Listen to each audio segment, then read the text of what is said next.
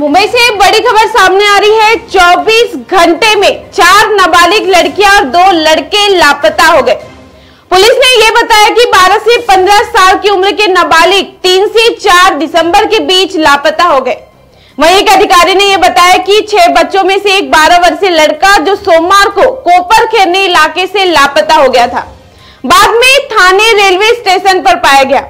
और अपने परिवार से मिल गया। और इसी अन्य मामलों की जानकारी देते हुए अधिकारी ने यह बताया कि कलबोंकी इलाके की एक तेरह वर्षीय लड़की रविवार को अपने एक दोस्त के साथ जन्मदिन पार्टी में गई थी, लेकिन वहाँ से वे वापस नहीं लौटी।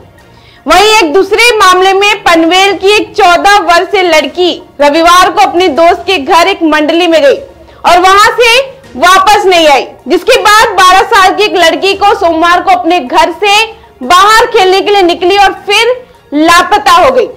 वहीं तेरह साल की लड़की सोमवार को स्कूल के लिए रबाले इलाके में अपने घर से निकली और वापस नहीं लौटी। इसके अलावा अधिकारी ने बताया कि रबाले का एक तेरह वर्षीय लड़का सोमवार को एक सार्वजनिक शौचालय में गया और तब से उसका कुछ भी पता नहीं लग पाया है। जिसके बाद अधिकारी ने बताया कि सभी बच्चों के अपहरण का मामला दर्ज कर लिया गया है और बच्चों का पता लगाने की कोशिश लगातार जारी है।